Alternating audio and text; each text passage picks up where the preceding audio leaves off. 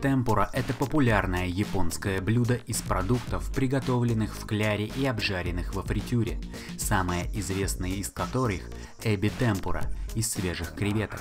Главное в темпуре – это кляр. Готовится он двумя способами – из специальной панировочной муки и панировочных хлопьев, благодаря чему образуется нежная хрустящая корочка, а продукты остаются сочными и сохраняют свой вкус. Легкая и воздушная текстура панировочных хлопьев Sensoi Premium идеально подходит для жарки овощей, рыбы, морепродуктов, курицы и других продуктов. Продукты, приготовленные в кляре, сохраняют большую часть своих витаминов, так как они защищены от чрезмерного воздействия высоких температур.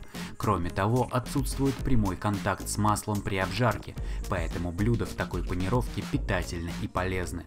Они легко усваиваются организмом и надолго оставляют ощущение сытости. Состав – пшеничная мука, тапиоковый крахмал, разрыхлитель теста Е521, соль и растительное масло.